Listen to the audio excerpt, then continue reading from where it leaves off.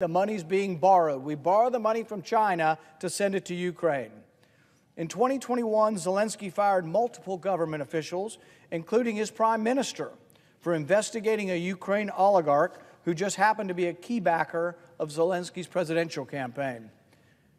The United States placed sanctions on this oligarch for his involvement in significant corruption, and earlier this month he was finally arrested.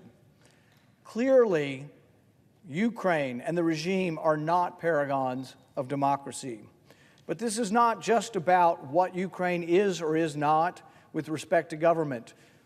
This is about American interests and our national security.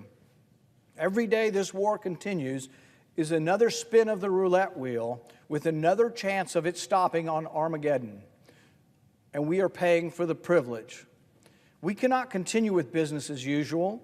We cannot continue to put the needs of other countries above our own. We cannot save Ukraine by dooming the U.S. economy. And we certainly cannot save Ukraine by fighting a war with Russia. As we go further and further into debt, we become weaker. It's not just that this is not helping our national security, the very threat to our national security is our debt.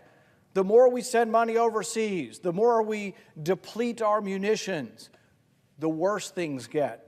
No matter how sympathetic we are to the Ukrainian people, we must put the American people first. And to that end, I encourage my colleagues to oppose any effort to hold the federal government hostage for Ukraine funding.